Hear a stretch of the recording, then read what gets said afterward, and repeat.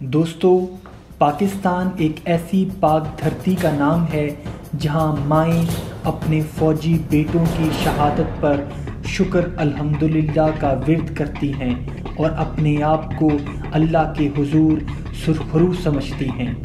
پاکستانی فوج دنیا کی وہ واحد فوج ہے جس نے دہشت گردی کے خلاف سب سے زیادہ قربانیاں دی ہیں۔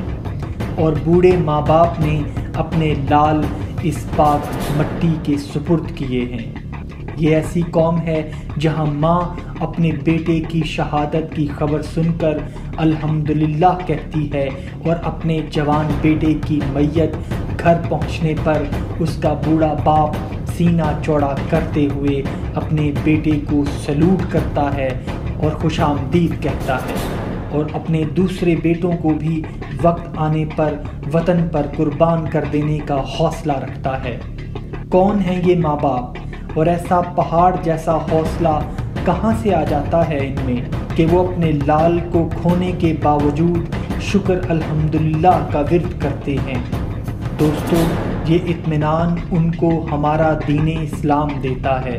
اور قرآن کریم میں اللہ نے فرما دیا کہ شہید کو مردہ مت کہو، وہ زندہ ہیں۔ لیکن تمہیں ان کی زندگی کا شعور نہیں۔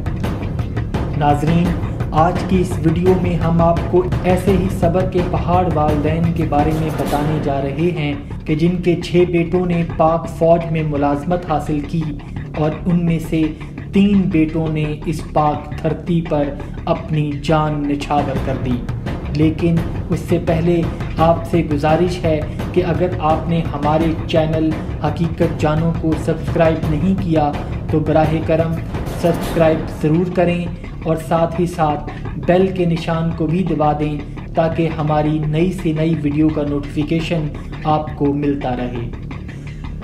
ناظرین، پاکستان کے اس بہادر اور حوصلہ مند باپ کا نام ہے محمد علی خان، جن کا تعلق خیبر پختونخوا کے ضلع کرب کے ایک چھوٹے سے گاؤں غرقلہ سے ہے۔ ان کے چھ بیٹوں نے فوج میں ملازمت اختیار کی اور ان میں سے تین بیٹوں نے وطن کا دفاع کرتے ہوئے جامع شہادت نوش کیا۔ محمد علی خان صاحب اور ان کی زوجہ محترمہ کا حوصلہ اب بھی اتنا بلند ہے کہ وہ اپنے باقی تین بیٹوں کو بھی اس پاک وطن پر قربان کرنے کو تیار ہیں۔ جب پاکستان آرمی چیف جنرل کمر جوید باجوہ صاحب کو اس بات کا علم ہوا تو وہ خود ان عظیم والدین سے ملنے گرکلا پہنچے اور ان سے مل کر ان کے حوصلے کو خراج تحسین پیش کیا اور کہا کہ میں ایسی فوج کا چیف ہوں جس کا ہر جوان پاکستان پر اپنی جان نچھاور کرنے کو تیار رہتا ہے اور میں پیغام دیتا ہوں ان شر پسند عناصر کو جو ملک کے باہر سے پاکستان کو دھمکیاں دیتے ہیں، جب تک ہمارے پاس ایسے والدین اور بچے موجود ہیں، کوئی بھی اس ملک کی طرف میلی آنکھ سے نہیں دیکھ سکتا۔ مجھے فخر ہے محمد علی خان اور ان کی عظیم زوجہ پر، جنہوں نے اپنے ملک کے لیے اپنے تین بچوں کی قربانی دی۔ اور مجھے پورا یقین ہے کہ جب تک پاکستان میں ایسے والدین موجود ہیں پاکستان کو کوئی ہاتھ بھی نہیں لگا سکتا۔ اس موقع پر محمد علی خان صاحب نے آرمی چیف جنرل کمر جوید باجوہ سے کہا کہ مجھے بہت زیادہ خوشی ہے کہ میری فوج کا چیف آج مجھ سے ملنے آیا ہے۔ میں نے چھ بیٹوں کو اس وطن کی حفاظت کرنے فوج میں بھیجا تھا۔ ان میں سے تین بیٹوں نے مجھے شہادت کا تحفہ دیا اور باقی تین بھی اگر اس ملک پر قربان ہو جائیں تو مجھے خوشی ہوگی۔ میرا تن من دھن اس پاک دھرتی پر قربان۔ ناظرین، یہ ویڈیو ان شر پسند عناصر کے لیے ایک پیغام ہے کہ اس مٹی کے رکھوالے، اس مٹی کی حفاظت کرنا جانتے ہیں۔ اور وقت آنے پر حضرت علی حیدر کرار رضی اللہ تعالیٰ عنہ اور حضرت خالد بن ولید رضی اللہ تعالیٰ عنہ کی تاریخ کو دہرانا بھی جانتے ہیں۔ اور جب سینے پر گولی کھا کر وطن کے ان رکھوالوں کی لاش گھر پہنچتی ہے، تو اس پاک دھرتی کا باپ سینہ چوڑا کر کے اپنے بیٹے کو سلوٹ کرتا ہے اور عظیم ماں شکر الحمدللہ کہہ کر اپنے بیٹے کو اپنی آغوش میں لے لیتی ہے۔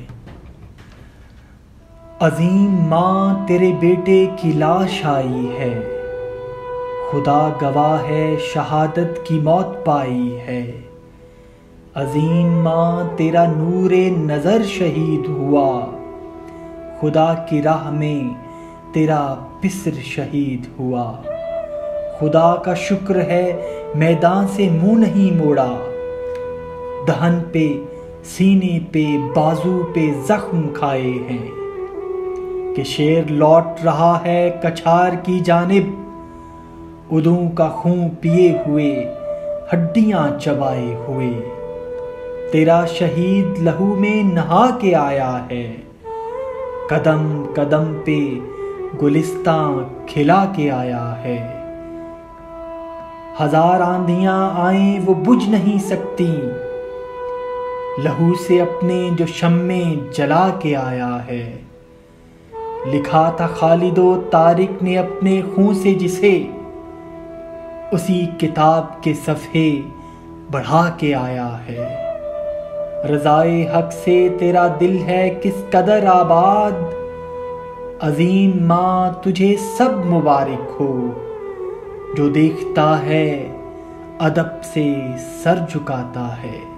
تیرے شہید کا شاہی جلوس آتا ہے۔